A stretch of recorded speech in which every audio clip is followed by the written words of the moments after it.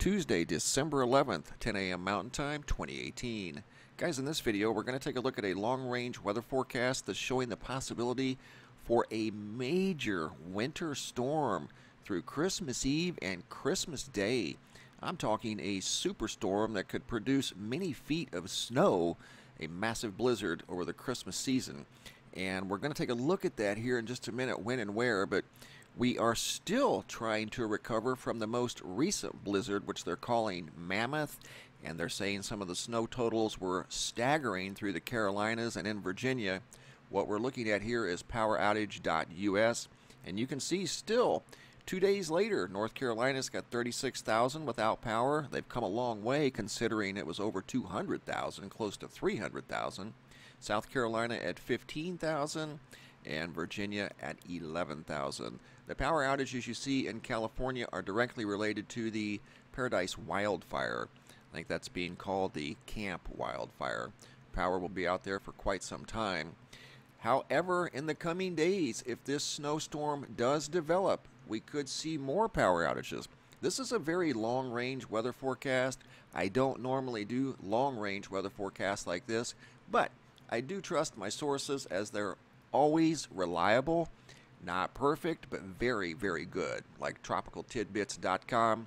When you go two weeks out, any forecast, I don't care what computer model does it, there could be variances in the forecast between the time you do the forecast and two weeks later. A lot can change.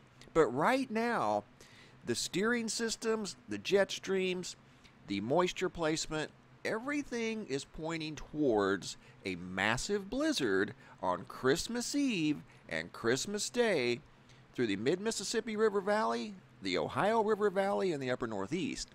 What you're looking at now is a series of highs and lows moving across the United States, and this is over the course of 10 days from today up through December the 20th.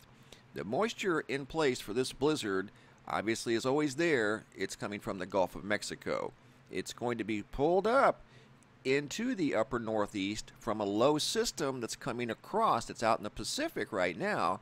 It's going to come across the Rockies, grab a hold of this moisture in the Gulf, pull it up into the Ohio River Valley, and you're going to see a massive snowstorm if the models stay the same between now and then. And weather charts um, .eu is a another very reliable source of information when it comes to weather.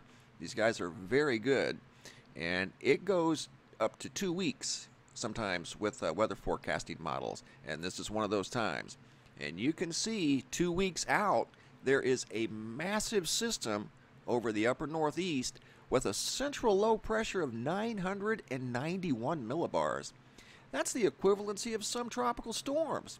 That's very low, and that's going to have, it. well, you can see the deep purples, a lot of moisture. Let me show you where that moisture is coming from. We're going to move this model through, and you can see on the 20th, it's starting to come across the Pacific Northwest.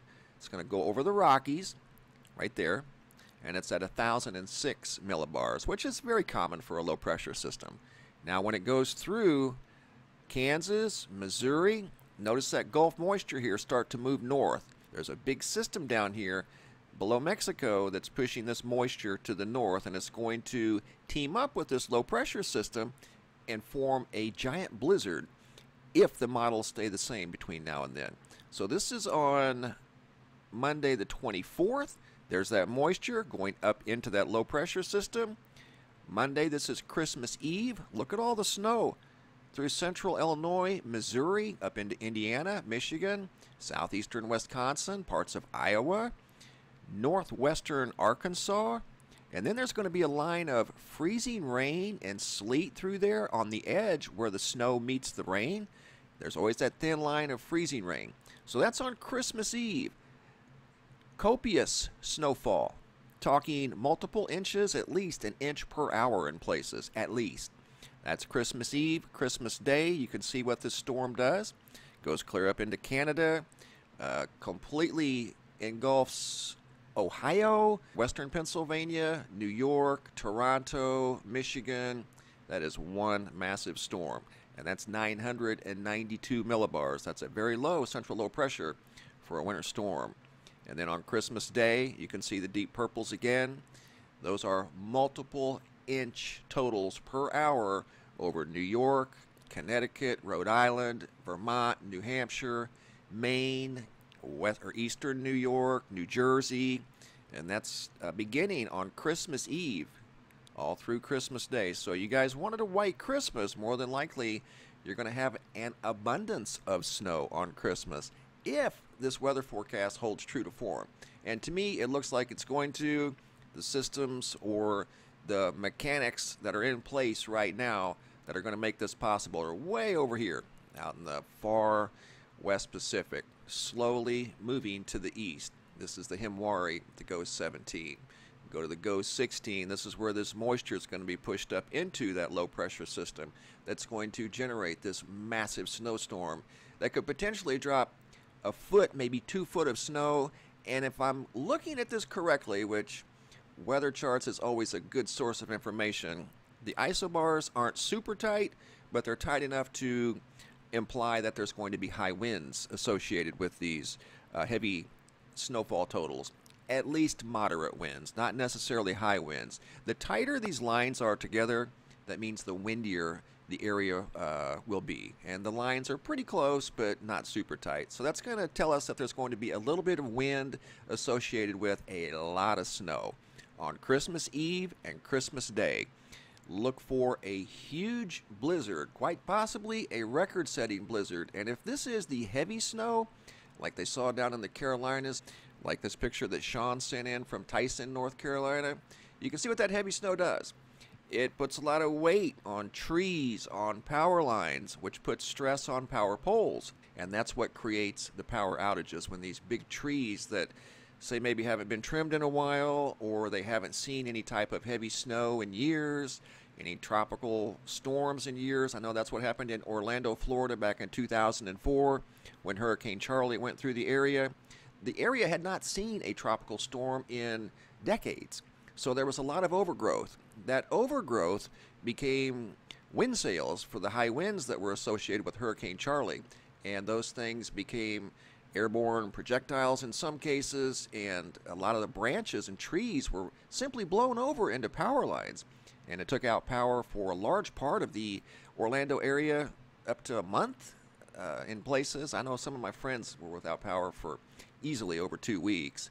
But look for a big storm system, guys, that's forming now. All of the mechanics are in place, slowly but surely making its way from west to east rendezvous on Christmas Eve, Christmas Day in Illinois, Indiana, Michigan, Ohio, New York, and the entire upper Northeast, including Maine, look for a white Christmas and hopefully the snow will be a, a, nice light powdery snow, not this heavy snow like they've encountered down here in the Carolinas and Virginia that can and will take out power lines.